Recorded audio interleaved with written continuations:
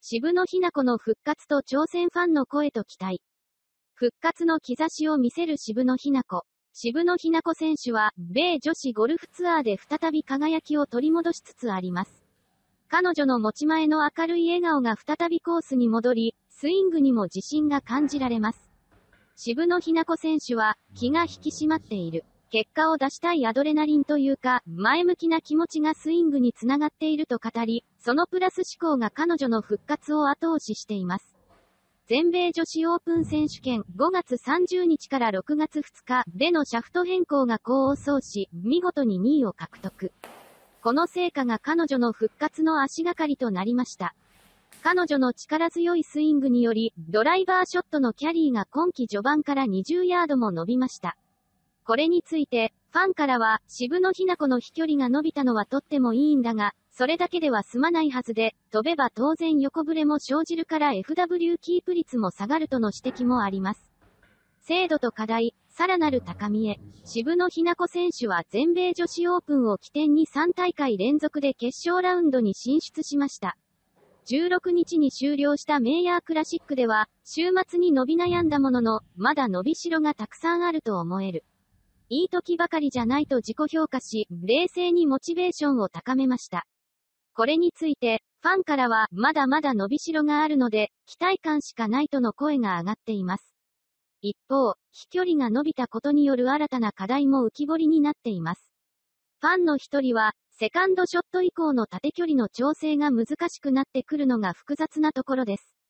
練習ラウンドでこの誤差をどれだけ修正できるか注目したいです、と述べており、飛距離の伸びがスコアにどのように影響するかについて関心を寄せています。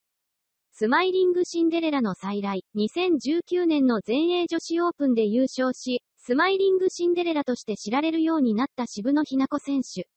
その後の約5年間彼女は不本意なプレーで涙を見せることもありましたが、現在は低迷から抜け出す兆しを見せています。今年最後までしっかりクラブを振っていけるように頑張りたいと意気込みを語る渋野日向子選手は、今月20日開幕のメジャー大会、全米女子プロ選手権でも活躍を期しています。ファンからも多くの応援の声が寄せられています。普通に考えても、国内でも複数回勝利を挙げている選手たちが通用しない環境で、4年間頑張って年間1億円以上も2回も達成しているんだから、力はあるんだよ。もっとリスペクトしてほしいよねと彼女の実力と努力が評価されています。スタート時間の厳守とプロの意識。ゴルフの世界では、スタート時間の厳守が非常に重要です。渋野日向子選手も例外ではなく、特にプロのトーナメントではスタート時間に遅れると罰打ちや失格の対象となります。ゴルフ場にはスタートの30分前には到着するようにしていると語る渋野日向子選手。これについて、ファンからも自分も遅刻しないようにスタート時間の2時間前には到着するようにしているという声が多く寄せられています。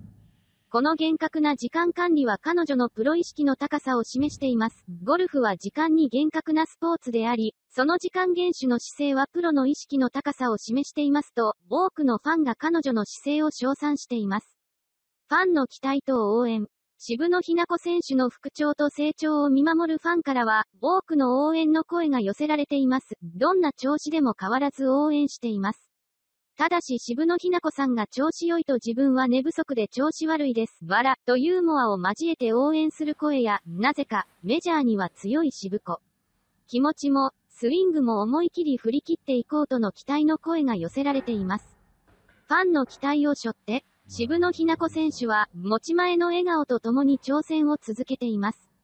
ファンの声援が彼女の力となり、新たな高みへと導いています。頑張れ渋野日向子選手と、心からの応援を送りながら彼女の次なる偉業を楽しみにしています。